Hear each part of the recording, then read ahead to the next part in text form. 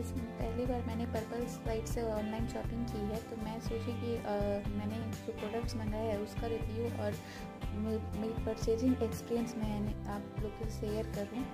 तो गैस मैंने purple site से पहली बार प्रोडक्ट मंगाया तो मुझे ज़्यादा कुछ उसमें अपना बेनिफिट नहीं लगा, क्योंकि उसमें जो प्रोडक्ट्स थे काफ़ी मतलब एक्सपेंसिव तो नहीं थे बट उसे मंगाने के लिए हमें शिपिंग चार्जेस लग रहे थे और सीओडी चार्जेस मैं ज़्यादा सीओडी प्रेफर करती हूँ कोई भी साइट पे तो वो सीओडी लग रहे थे। लेकिन यहाँ पे सीओडी चार्जेस और शिपिंग चार्जेस बहुत लगे तो उसकी वजह से मुझे एलाइट मेम्बरशिप लेना पड़ा। तो ये है, मैंने सारे प्रोडक्ट्स मंगाए थे एयर पैक के लिए ब्राह्मी पाउडर सीका का powder amla powder and I think और कोई पाउडर था तो वो सब है।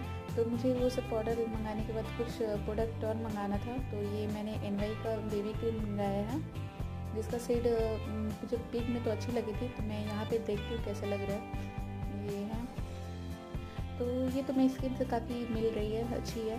तो ये प्रोडक्ट अच्छी है मेरे लिए।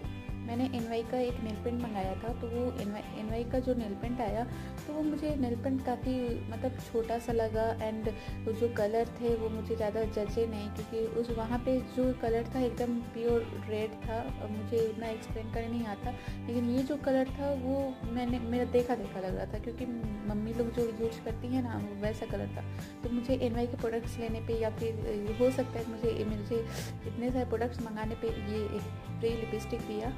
जिस पे मैटे लिप ग्लॉस ग्लॉस कहते क्या कहते हैं, मुझे उतना मेकअप के बारे में आइडिया नहीं है। ये मुझे मिला है।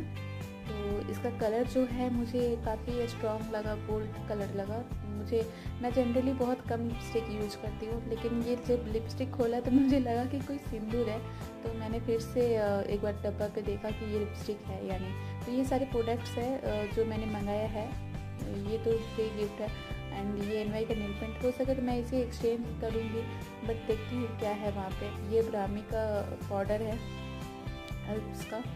ये सारे मैंने हेयर पैक के लिए मंगाया था और एक सैंडलवुड पाउडर है। ये सैंडलवुड पाउडर है तो इसे मैंने फेस पैक के लिए मंगाया है। तो ये ओवरऑल प्रोडक्ट है जो से